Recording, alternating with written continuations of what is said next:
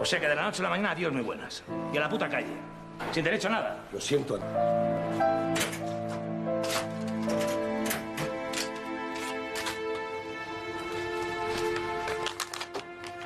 Hombre, yo creo que teniendo la furgoneta algo te saldrá. ¿Por qué no compras el periódico? Es el segunda mano. Ahí salen muchas cosas. No, no, estoy para nada. Me voy a dar una vuelta. ¿Dinero? Eso es lo que nos tiene jodidos. El dinero. Mira, Ciri, te voy a enseñar dónde está el dinero. Solo tenemos que llegar allí, cogerlo y para nosotros.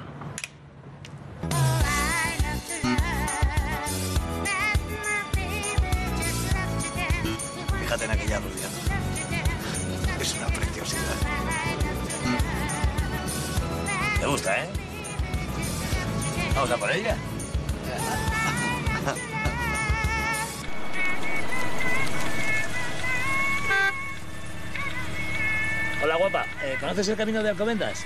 El camino de Alcobendas. El paseo de Alcobendas. Camino, camino de Alcobendas.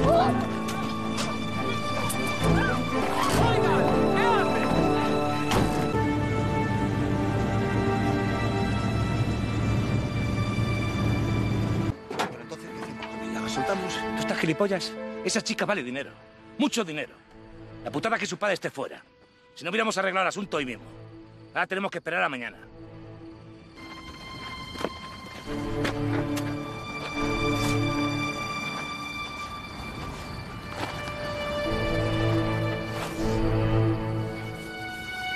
Verás como todo saldrá bien.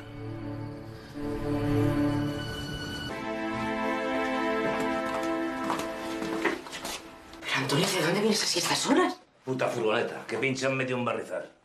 Toma. ¿Quieres comer algo? No tengo hambre, me duele el estómago.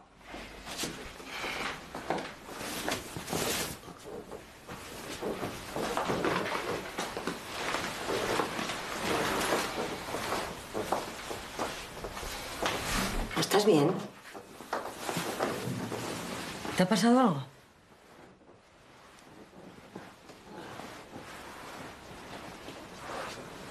¿Qué haría si nos tocaran 150 millones a la lotería? ¿A nosotros? ¿Pero cómo nos va a tocar si nunca jugamos? Anda, apaga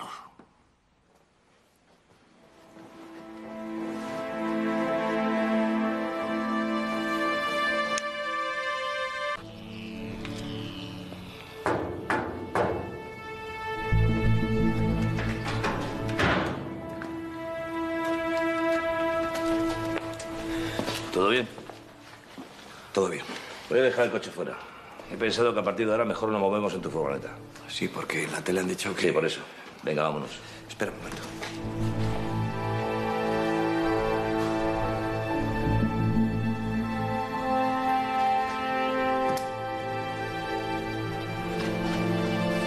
Oye, de aquí nadie más tiene llave, ¿no? No, no, solo yo. No te preocupes.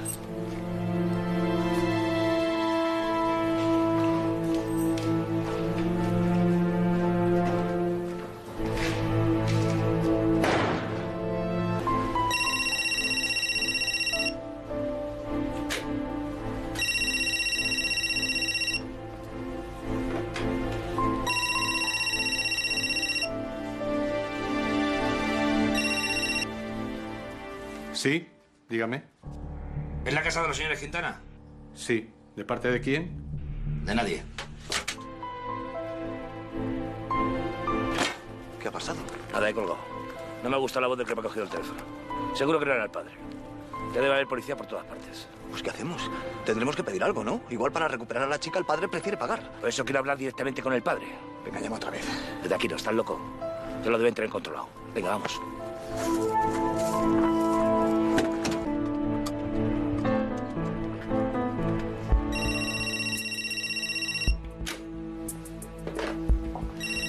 Será mejor que conteste usted.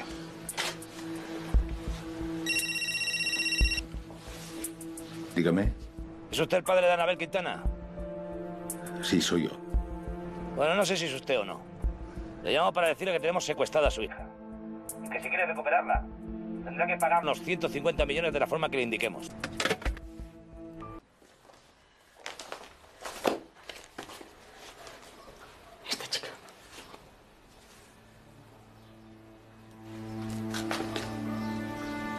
La encontré en tu furgoneta. Una furgoneta blanca, Antonio. Dos hombres en una furgoneta blanca.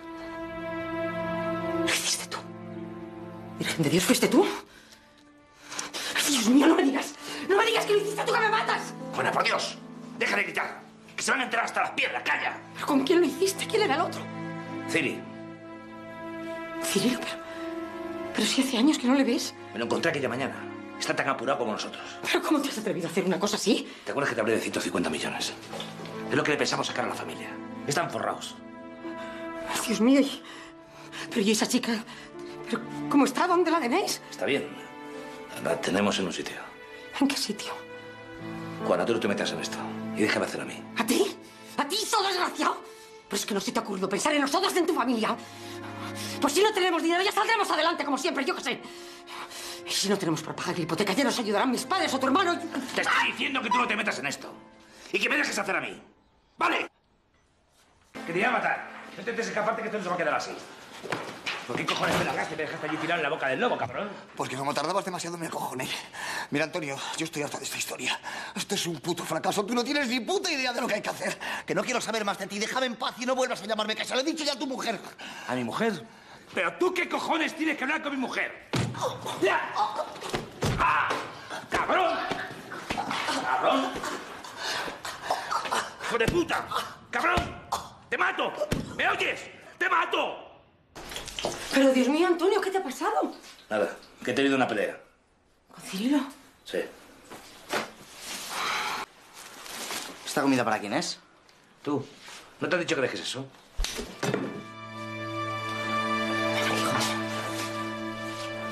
Con el puto mimo de los cojones.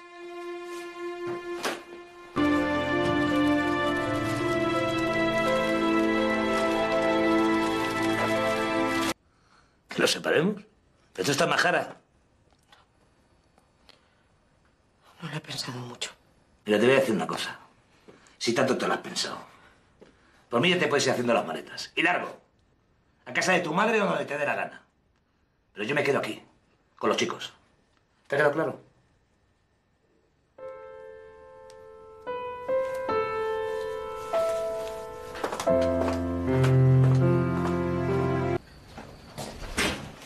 ¿Ya están acostados los niños?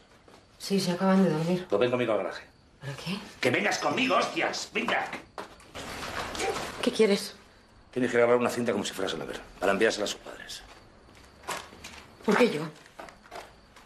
¿No tenéis a la chica? Pues que lo haga ella. No puede ser. No voy a darte explicaciones de por qué ni nada.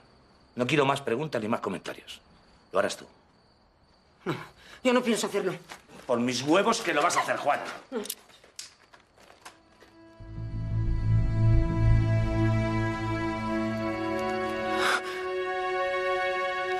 Tengo que hacerlo yo porque ella no puede, ¿no? No puede porque no está viva. Está muerta. Sí, está muerta. ¿Eso es lo que querías saber? Pues está muerta. La matamos el primer día. No sabíamos qué hacer con ella, ni dónde esconderla. Y ahora mismo vas a grabar esa cinta. Toma. Listo. Toma. Vamos.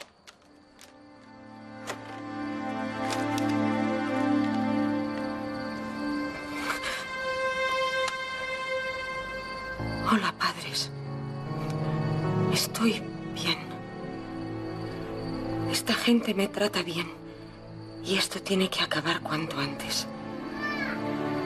Un beso para todos. Adiós, papá. Adiós, mamá. Te quiero mucho, hermana. Adiós.